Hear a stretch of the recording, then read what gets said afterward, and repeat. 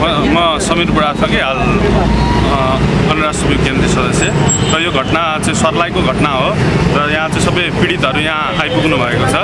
र सर्लाहीमा श्यामकृष्ण शाह उर्फ श्याम परदेशी भनेर चिनिने व्यक्तिले चाहिँ यो सत्तरी सालको जब नाकाबन्दीको बेलामा जसरी पीडितहरूले थाहा पाए कि जुन बेला जुन एउटा अवस्था थियो जहाँ चाहिँ ब्याङ्कले ऋण दिन नसक्ने सहकारीले ऋण दिन नसक्ने र त्यो बेलामा फलानु व्यक्तिले ऋण दिन्छ भनेर त्यो उहाँहरू उनीहरूको सम्पर्कमा पुगेको र त्यो बेलामा चाहिँ एक लाखको ऋण लिने मान्छेलाई दस लाखसम्मको कागज देखाएको।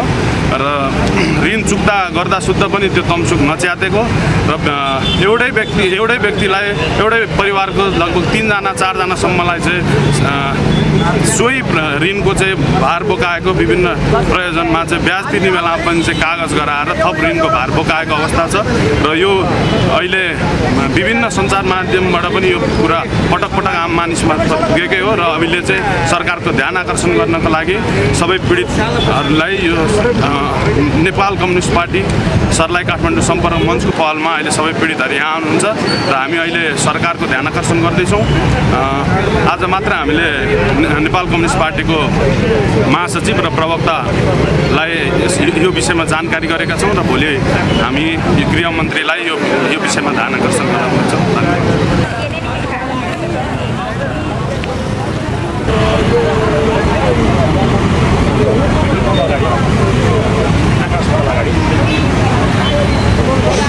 अनि कति पर्सेन्ट ब्याज दरमा उसले पैसा दिएको छ तपाईँलाई?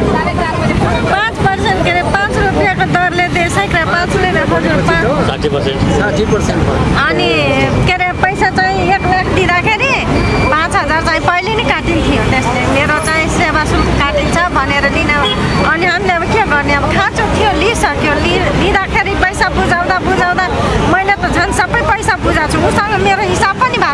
बसेर।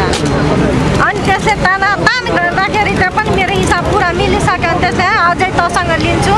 कति अठार लाख रुपियाँ? तँसँग एक करोडको कागज बनाएको छु सातवटा कागज बनाएको छ मेरो छोरा जेठो गएको थियो पैसा बुझाउन।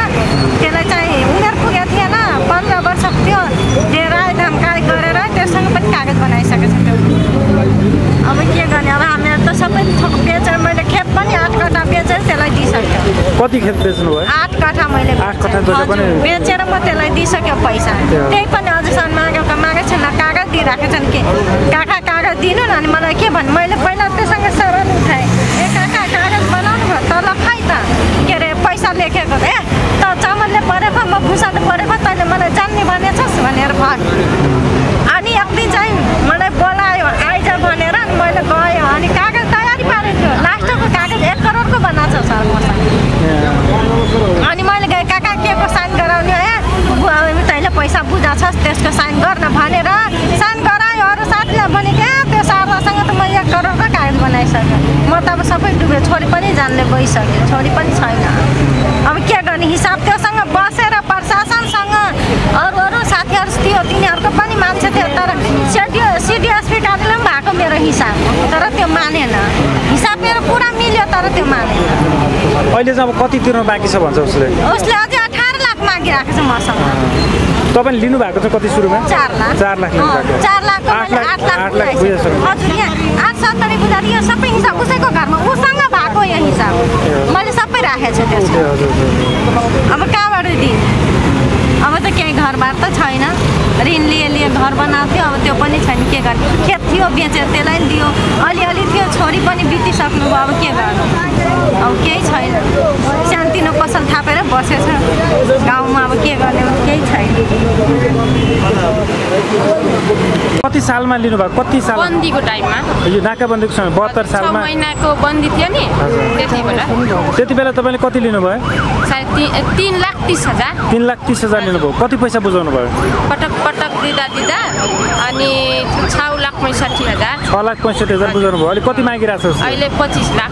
पच्चिस लाख मागिरहेको पच्चिस लाख मागिरहेको छ अनि जेलको पनि टिकट छ ए जेल पैसा नदिए चाहिँ जेलको टिकट काट्छु भनिरहेको छ।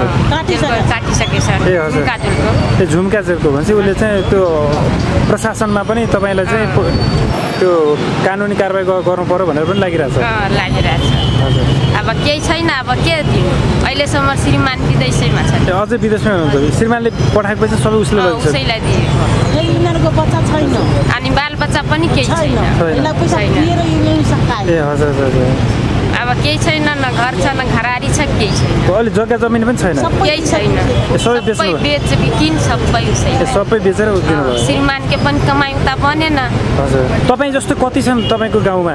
त्यसरी पैसा लिने? गाउँमा एघारजना छन्। एघारजनाले यसरी दुःख दिइरहेछ पैसा। रन्जितपुरको एघारजना छ पाँच नम्बर वार्डमा लालबन्दी एघारजना। लाखो देवी चौधरी। कति वर्ष हुनुभयो? सडसठी। सडसठी वर्ष। कति पैसा लिनु भएको थियो तपाईँले?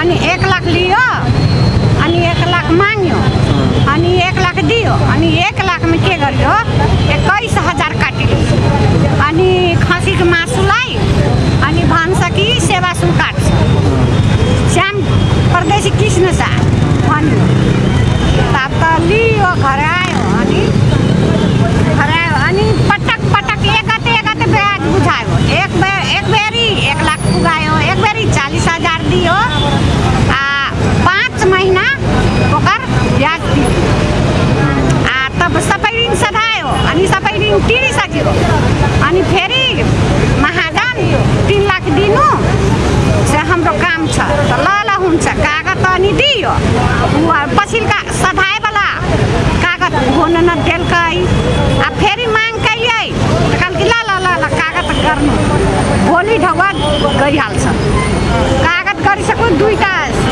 मान्छे सब मेरो साथी। हजुर। सुन्नु न, अहिले अहिले कति पुरै पैसा कति लिनुभयो तपाईँले? पुरै? हजुर।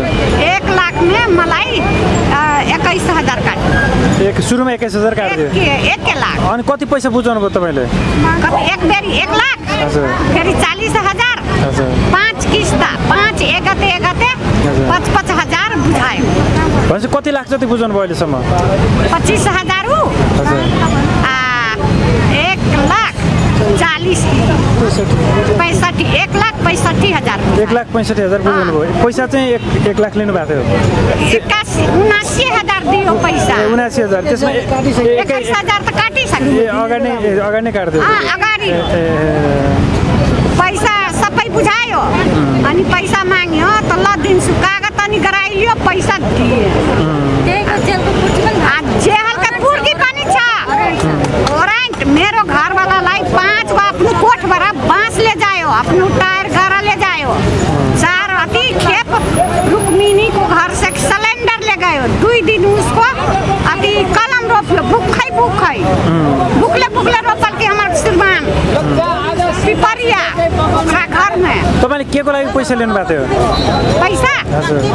पैसा ऊ छोरोको जानुलाई छोरोको? के को लागि? विदेश गेल छोरै विदेश जानको लागि लिनुभएको थियो। अँ, अनि सबै डौवा उसको फर्कायो। त भन्दा माग्नु खेर कागज पनि गराइयो पैसा पनि दिएको छैन। अनि जेहलका पुर्जी पनि काटिदियो चार लाख ने मुदाइले हान्यो। उसले अब कति पैसा दिनुपर्छ भन्छ? साढे चार लाख ने मेरो अथी छ ए साढे चार लाख मागिरहेछ। अँ, जेहलका पुर्जी पनि काटिदियो हेर्नु नि यहाँ छ। देखाउनुहोस् त।